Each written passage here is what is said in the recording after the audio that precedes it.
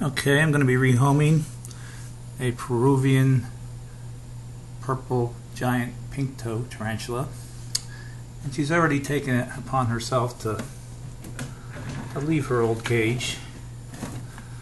And now she's going to give me issues. These are one of the biggest of the pink toes. Be gentle. She's a very good girl. Very big. I wish I could make it more exciting, but I like to do things the right way and nice and calm. And there she goes. Ta-da.